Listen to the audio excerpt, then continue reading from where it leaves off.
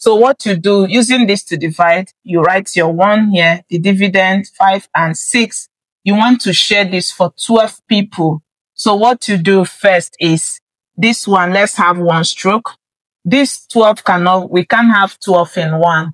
So because it's not possible, this is where you write your answer. So here I'm going to write zero, showing it's not possible.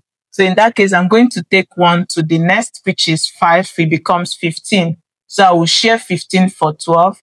3, 4, 5, 6, 7, 8, 9, 10, 11, 12, 13, 14, 15. So you see we have 1, 12. You write 1.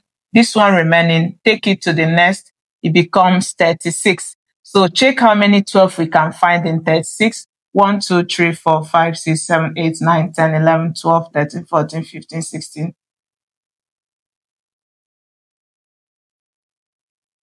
So this is our 36. You see, we have three of the 12 there. So I'm going to write three here. So it means for dividing this, our quotient is 13. And what do you think about this? I hope it helps you. Bye.